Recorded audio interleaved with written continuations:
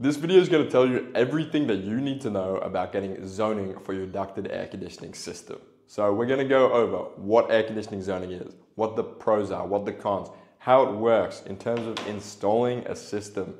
We're going to be going in depth into even zone dampers, spill and bypass zones, you know, the always on zones that you may have heard about, installation requirements, the costs, the limitations of zones, getting temperature sensors, and we're also going to have a section at the end where we go over the popular zone controllers ranging from air touches, zone touches, and standard zone uh, systems that come from brands, you know, such as Mitsubishi Electric and Daikin and Panasonic. They all have their own zone controllers. So my name is Jesse. I'll only say this once. I'm the founder of gridless.com.au and we help connect you to the best installers in Victoria and Sydney to install energy efficient air conditioning and hot water systems. So if you're after the best installers that are fully vetted, just visit gridless.com.au to inquire and we'll be happy to help you out with your inquiry. Okay, so on to the video. So if you're unaware of air conditioning zoning and why you would even get it installed, I'll give you a brief rundown. When you have multiple split systems in your home, it's very convenient because you can turn them on and off whenever you want. It also saves energy because you're not heating or cooling zones that you don't that don't need to be heated or cooled. Well, you can do the same with a ducted system. All you need to do is install zones. You have a zone controller and you have the zone dampeners that work inside of the duct and that control they open and close to control the airflow that goes to the outlets. This is beneficial because it can let you heat and cool rooms that you want and not heat or cool rooms that you don't want heat or cooled. It can also help you control the temperature if you have a sophisticated zone system such as an AirTouch 5. So now let's talk about how zoning works.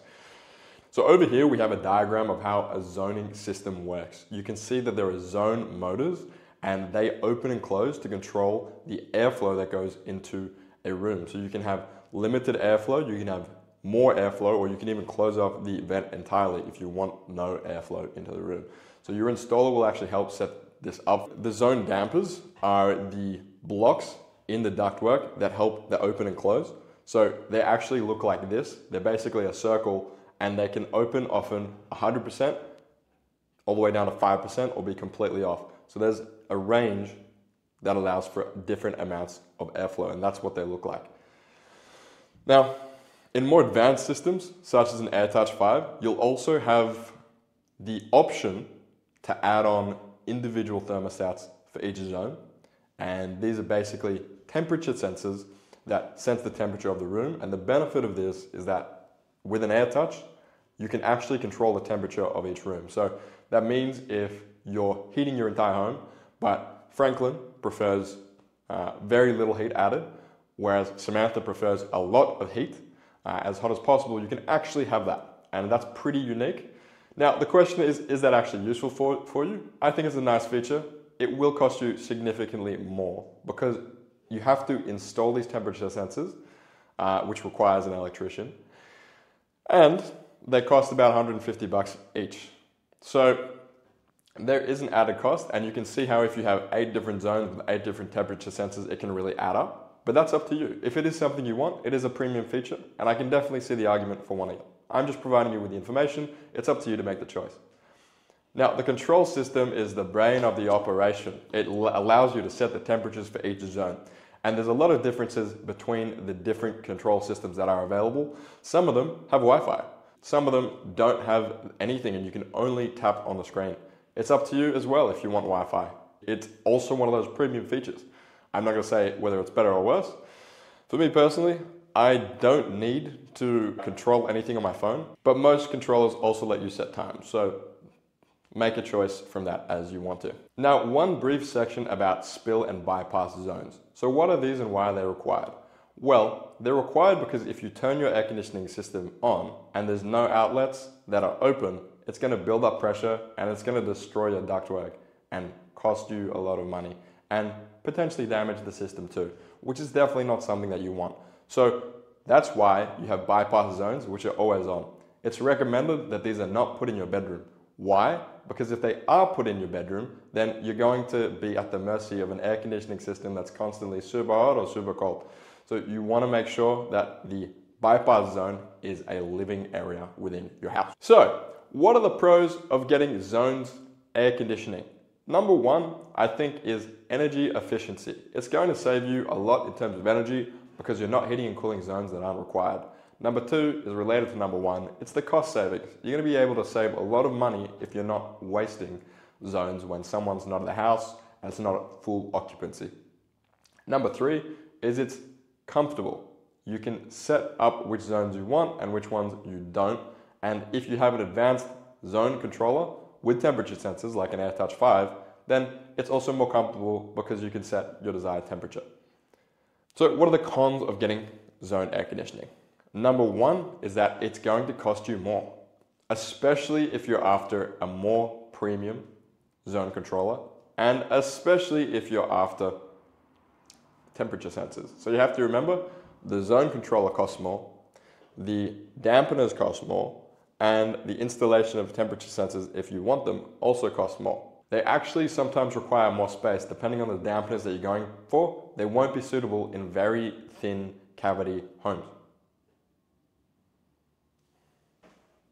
Another con is the potential for pressure issues. So zoning should be installed and designed by an expert and if it's not, there's a greater risk of something going wrong. You need to make sure that there's not an over build up of pressure within the system because that is going to cause damage to your ducts and it's also going to cause damage to your system which is very expensive. You want to make sure that the installer installing this actually knows what they're doing and they're fully qualified. So let's break down the actual costs involved in getting a zone air conditioner. Number one, it's going to depend on the size of your home and the number of zones required. The more zones required, the more dampeners you need.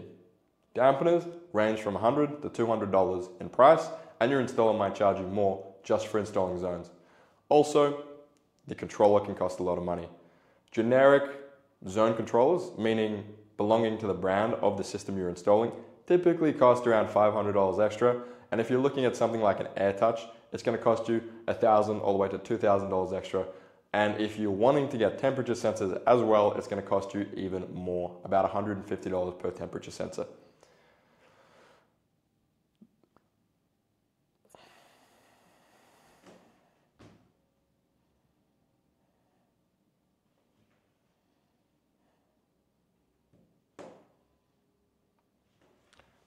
Now let's talk about zone controllers. Now you can have branded zone controllers or you can have third-party zone controllers and I'll explain briefly when I think you should make the difference between the two. I would typically go for a branded controller in most cases for the following reason. It is going to be cheaper. it is really that simple. It's usually going to be cheaper than getting a third-party zone controller. You can usually get Wi-Fi too. If you want temperature sensors, you'll probably need to go through a third party and get an AirTouch. So now let's go through some of the different systems. So Mitsubishi Electric is a very popular system and the zone controller comes in four or eight separate zones.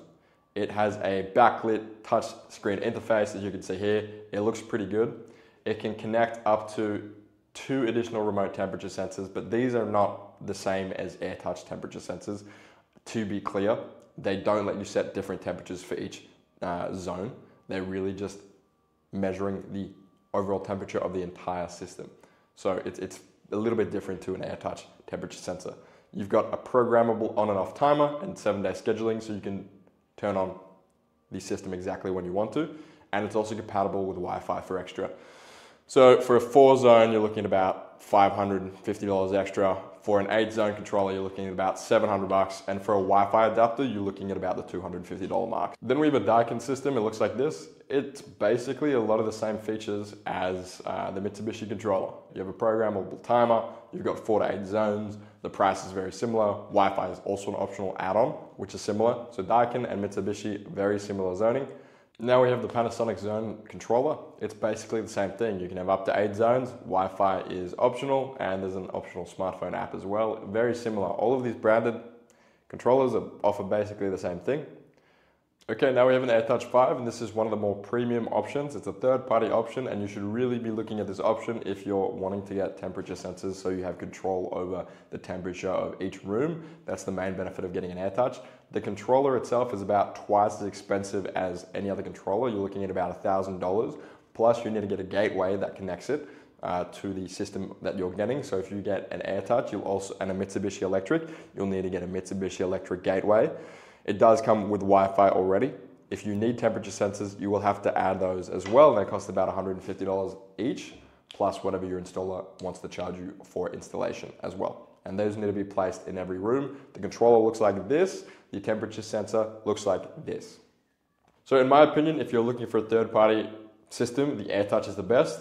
The other option for a third-party controller is to get an iZone or a MyZone. These are like an AirTouch. They're a little bit cheaper and they come with less features. Uh, also a Zone Touch 3. Now, the final option that I would include for a third-party option is going to be the cheapest out of everything, and that's just to get simple switches. So there are a few different options. There's Zone Switch. There's wall controllers. They, they come under different names and brands, but basically it's just switches. They look like this. You can have four or six switches and you just control the zone by pressing a button. It's very easy to do. It's very analog. It's very manual and it comes with, with fewer options. But if all you really want is zone control, it's actually a pretty good option. In summary, here's what we went over. How zoning works, the pros and cons of getting zoning, installation requirements, the costs of getting zoning, and popular zone controllers that you can get. I hope you found this video useful. If you have any questions about anything specific or technical, please leave them in the comments below. I'm sure other people are wondering. And if you would like to see me produce another video, please also comment that below. Thanks for watching.